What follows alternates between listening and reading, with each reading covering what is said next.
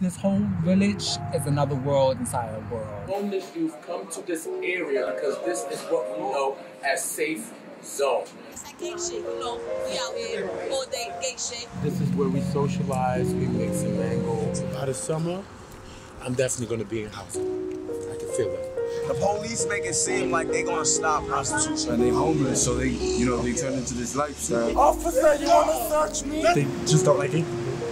Ma, all I'm asking you to do is just see me. That's it. I don't know her as Krista. This is my nephew. What's wrong with taking this lifestyle, setting it outside your mother's door? I'm tired of doing that. You walk with our hands up.